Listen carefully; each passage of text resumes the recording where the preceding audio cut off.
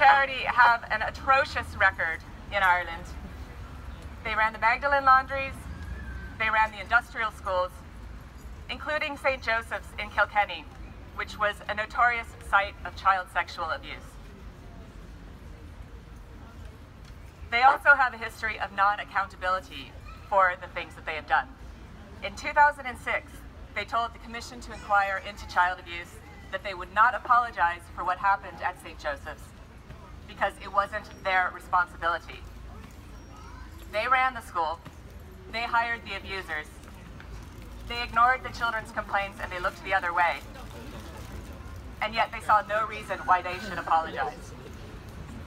And as we know, they've also failed to pay what they owe in redress for this abuse, and they refuse to contribute anything to the Magdalene redress scheme. So why on earth would we give them anything? We're told that we have to give them sole ownership of the National Maternity Hospital because they own the land. They owe us three million euro. Why do they still even have any land?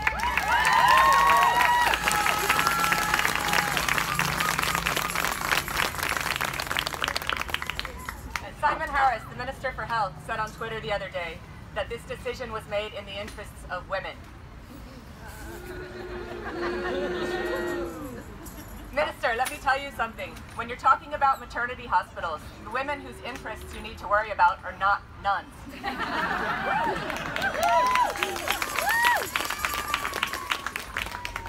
We've been told that the hospital's clinical independence will be guaranteed, but how can it be guaranteed?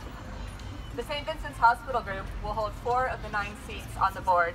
That can very easily become a working majority. All you need is for two people to miss a vote. And we keep hearing this thing about the minister having reserved powers. Like, this is supposed to reassure us that if the nuns do try to interfere in clinical matters, that the minister will step in to prevent it.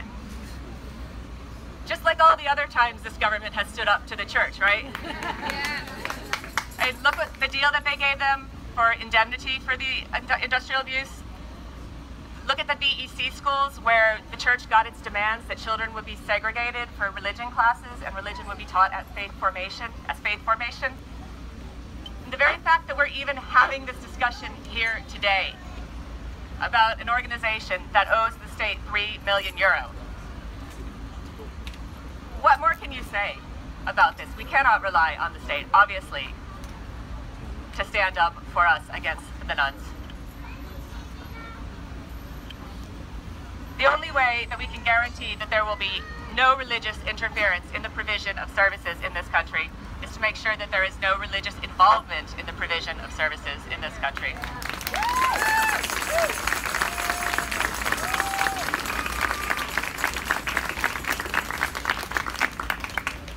There's absolutely no place for it in a national maternity hospital. And we, the women of Ireland, and all the other potentially pregnant people of Ireland, we're saying very clearly to the Minister and to the St. Vincent's Group that this is our hospital, these are our bodies, this is not in our interest, and we are not going to let it go ahead.